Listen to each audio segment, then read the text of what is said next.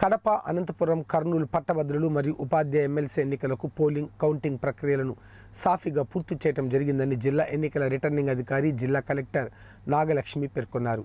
ఆదివారం అనంతపురం కలెక్టరేట్లోని జిల్లా కలెక్టర్ ఛాంబర్లో పశ్చిమ రాయలసీమ పట్టభద్ర నియోజకవర్గం ఎన్నికల్లో గెలిచిన భూమిరెడ్డి రామ్గోపాల్ రెడ్డికి జిల్లా కలెక్టర్ ధృవీకరణ పత్రాన్ని అందజేశారు.